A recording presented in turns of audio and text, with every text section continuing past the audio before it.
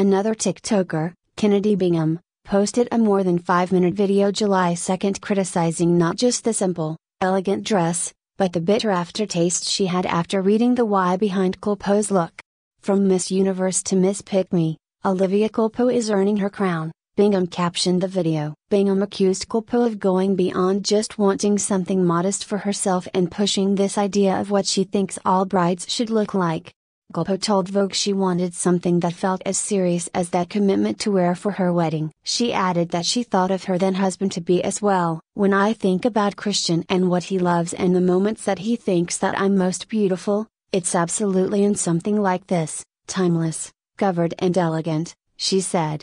Bingham pushed back against Culpo's intention, first and foremost, you can get married in your underwear and be taking your marriage vows very seriously, she said.